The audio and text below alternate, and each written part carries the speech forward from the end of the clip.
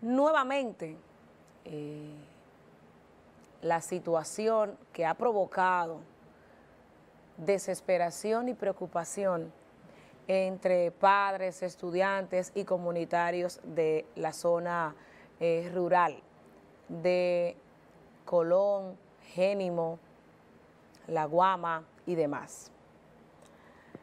No bien salimos nosotros de, de dar seguimiento a lo que ocurrió el pasado viernes, donde 12 estudiantes resultaron intoxicados por aplicación de pesticidas en la comunidad de Colón, pues hoy, antes del mediodía, nos informaban ya que al menos 10 estudiantes más, y esta vez de la comunidad de Génimo, resultaron intoxicados por sustancias químicas en el Liceo Juan Emilio de la comunidad de Génimo, Liceo Juan Bosch de esa zona. Queremos significar que todavía las autoridades no han logrado buscar una salida al tema de las intoxicaciones y no bien se ha investigado de lo que ocurrió el pasado viernes, donde aún dos estudiantes permanecen en estado de gravedad en un centro de salud de San Francisco de Macorís. Ya hoy tenemos otros casos de intoxicación y los grandes ausentes son los parceleros propietarios, propietarios y que han aplicado los pesticidas en esas zonas rurales. Escúcheme bien, los grandes ausentes, los imaginarios, los que no dan la cara, los que nadie quiere identificar, los que nadie quiere identificar porque nadie quiere hablar de quiénes son los propietarios de esas fincas, que incluso están siendo tapados por residentes en esas zonas rurales, que se niegan a hablar del tema. ¿Y qué van a esperar? Que muera uno de esos estudiantes intoxicados para entonces darse golpes en el pecho y querer salir como héroes, a hablar lo que no es. ¿Qué se esconde? ¿Por qué no se ofrecen los nombres de los propietarios de esas fincas en Colón, en Génimo? ¿Por qué nadie quiere hablar de esto? Hay un miedo terrible al hablar de este tema y cuando tocan eh, y, hacen referencia a, a propietarios de fincas, todo el mundo borra. Nadie dice nada. Vamos a escuchar, vamos a escuchar y vamos a ver lo que ocurrió hoy en el Hospital San Vicente de Paul, porque algunos fueron trasladados ahí, otros lo dejaron en la unidad de atención primaria en la comunidad de Género.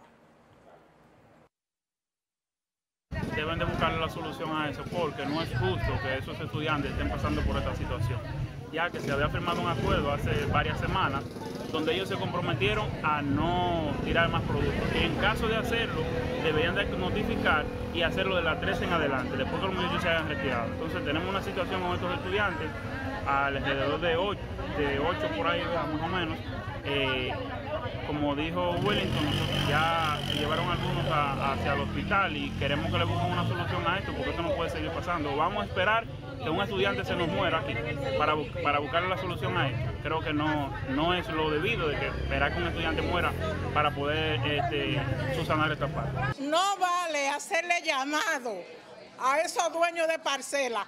Yo estoy decidida que si no hay hombres ni mujeres, yo soy una mujer de valor. Si me le pasa algo a una de esas de mis hijas, yo no la parí, pero están desde el primer día que nacieron en mi mano. Yo voy a coger justicia yo con esta mano que aparezca un parcelero y me dé la, la frente a mí. ¿Han lanzado eh, sustancias químicas? claro que sí. La pusieron virtual la clase por el problema. Volvieron presencial y están en lo mismo. Eso es una burla. ¿De quién son las fincas que están por ahí? Yo no sé, ellos no dan los nombres. ha ido medio ambiente, ha ido educación, ha ido salud pública y ellos hacen caso omiso, no quieren. ¿Cuál es la condición de salud de sus hijas? Me llamaron, me dicen que la más pequeña está grave. Quiero que me dejen pasar, por favor.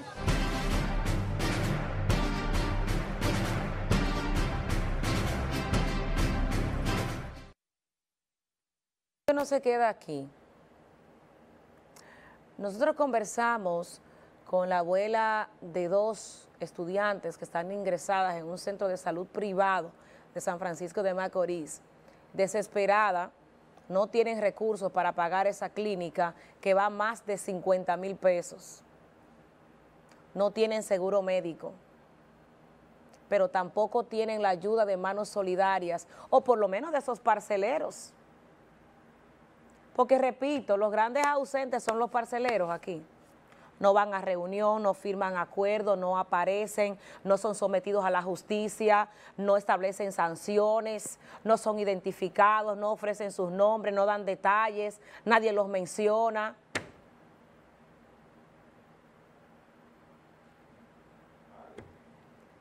Y la prensa busca información, pero no podemos ir más allá de lo que otros no están dispuestos a enfrentar. ¿Por qué no salen los comunitarios de Colón y de La Boca y de Génimo y demás y denuncian con nombre y apellido los propietarios de esas fincas para que sean sometidos a la justicia?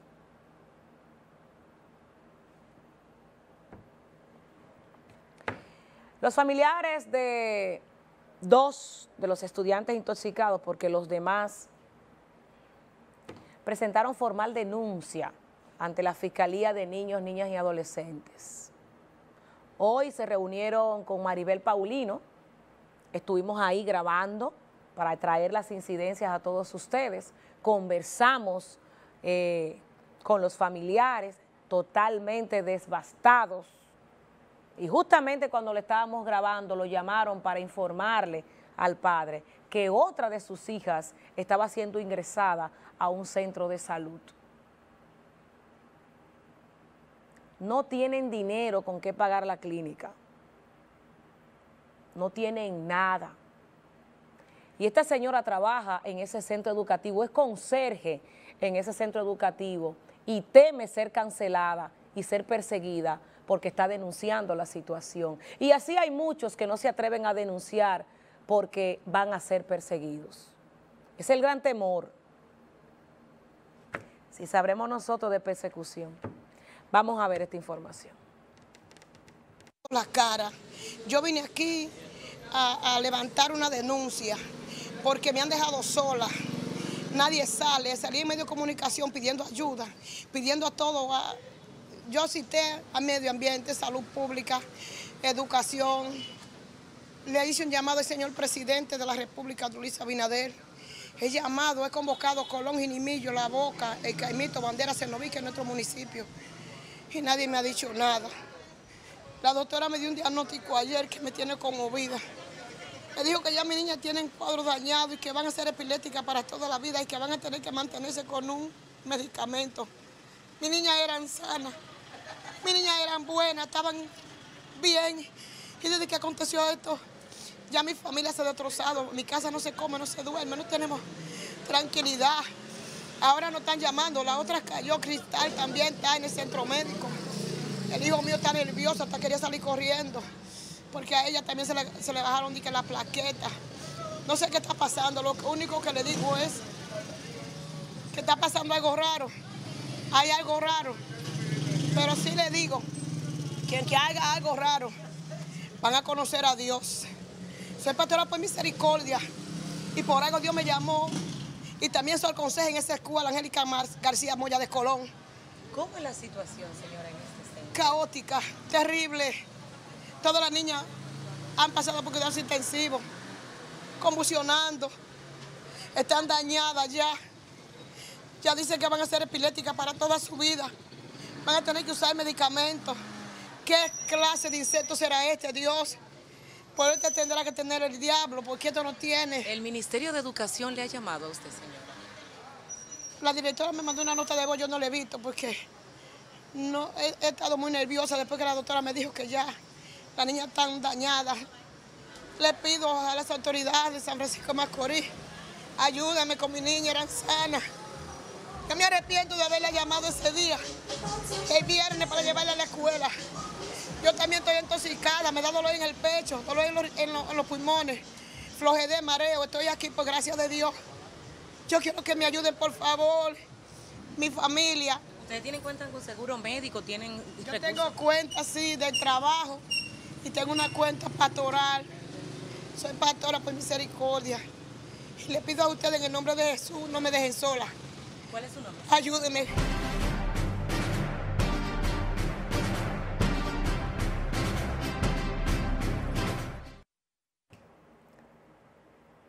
Lamentable eh, que esto esté ocurriendo.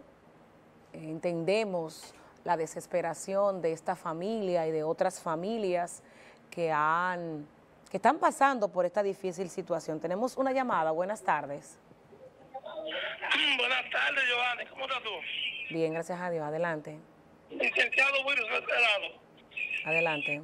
Y es que el que tiene un par de pesos es tan, es tan grave, es tan malo de caer preso.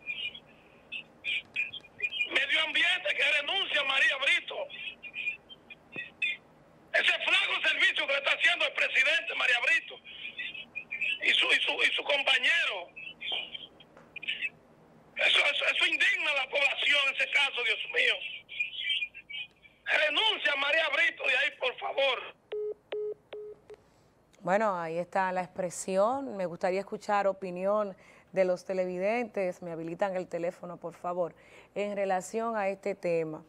Y quiero detenerme y aprovechar el tiempo del espacio, aunque se quede otro contenido. Y es que miren, muchas veces nos sentamos aquí, asumimos un rol que no es nada fácil. Ustedes no saben lo que hay detrás de todo esto.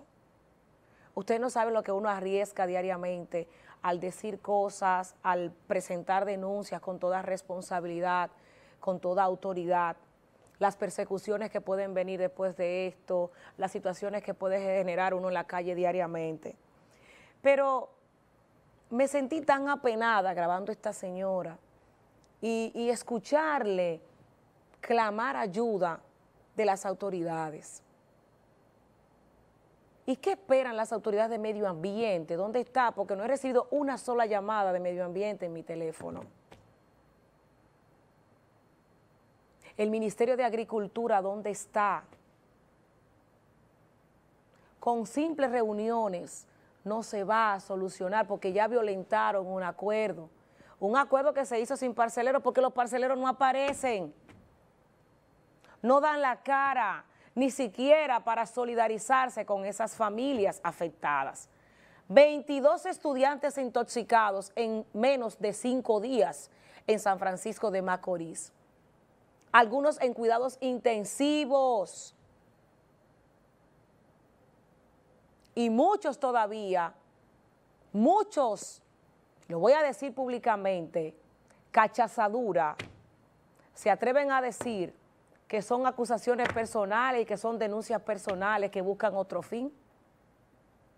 Pero por Dios, con la salud no se juega, no se inventa.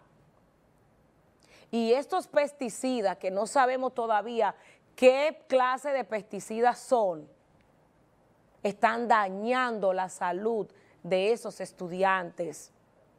Por ejemplo, el, el diagnóstico que recibió esa abuela que ustedes ven en pantalla, es que lamentablemente sus dos nietas tienen afectación seria en el cerebro y que deberán estar medicadas por el resto de su vida. Epilépticas. Y que al día de hoy todavía están usando pampers,